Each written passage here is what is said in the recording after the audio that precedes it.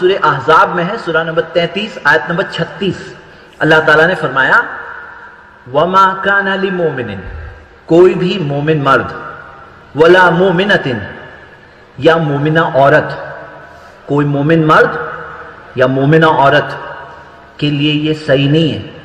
اذا قضى اللہ ورسولہ امرا جب اللہ اور اس کے رسول کا فیصلہ آ جائے، اللہ اور اس کے رسول کا فیصلہ آ جائے۔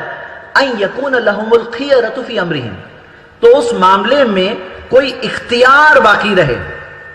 اس معاملے میں کوئی اختیار ہی باقی نہیں رہتا۔ ان یکون لهم الخیرۃ من امرہم اس معاملے میں چوائس ہی نہیں ہے، چوائس۔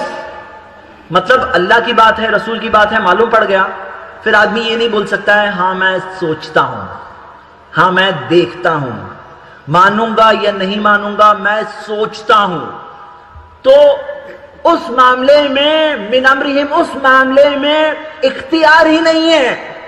کیونکہ جب ہم نے کلمہ پڑھا، لا الہ الا اللہ، محمد الرسول اللہ، تو وہاں پر آپ پہ کوئی زبردستی نہیں تھی۔